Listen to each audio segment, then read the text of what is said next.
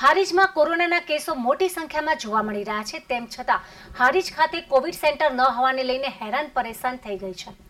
ત્યારે હારીજ તાલુકા ઠાકોર સેના દ્વારા હારીજ સિવિલ ખાતે કોવિડની ઓક્સિજન સાથે બેડની વ્યવસ્થા કરવાની માંગ સાથે મામલતદારને રજૂઆત કરી હતી. જેમાં પાંચ વ્યક્તિઓને મામલતદાર કચેરી આગળ ધરણા કર્યા હતા. તાલુકાને કોવિડ સુવિધા હારીજ તાલુકા હારીજ તાલુકામાં ઓક્સિજન પૂરું પાડો. હારીજ તાલુકાને કોવિડ સુવિધા મળવી જોઈએ. જો કે પોલીસે ઠાકોર સેનાના યુવકોની બાદમાં અટકાયત કરી હતી. જ્યારે મહામારીના સમયમાં સ્થાનિક નેતાઓ ગાયબ થતા પબ્લિકમાં રોષ જોવા મળી રહ્યો છે. કોરોના દર્દીઓ ઓક્સિજન વગર ટપોટપ લોકો મૃત્યુને ભેટી રહ્યા છે.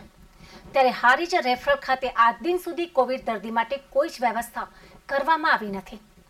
રેફરલ ખાતે ઓક્સિજન સાથે બેડની વ્યવસ્થા કરવામાં આવે તો આ દર્દીઓને સારવારનો લાભ મળે તેવી માંગ સાથે તંત્ર સુધી અવાજ પહોંચાડવા ઠાકોર સેનાના કાર્યકરોએ મામલતદારને માંગ કરી હતી.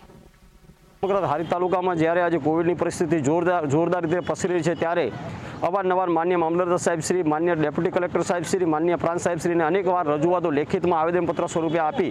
તેમ છતાં પણ હારીજ તાલુકાના લોકો માટે કોઈ જ પણ કોવિડ નાઇન્ટીન સુવિધા, ઓક્સિજન સાથે યા વેન્ટિલેટર યુક્ત કોઈ જ બેડની વ્યવસ્થા ન કરતા ન છૂટકે આજ, આજરોજ અમારે હારીજ ખાતે મામલતદાર સાહેબ શ્રીની કચેરીએ ધરણા ઉપર ધરણા ઉપર બેસી અને સરકાર, રાજ્ય સરકારને હું મેસેજ કરવા માગું છું કે અહીંના લોકો ખરેખર ખૂબ જ દયનીય સ્થિતિ છે. ખૂબ જ લોકો ઓક્સિજનના અભાવે પીડાઈ રહ્યા છે.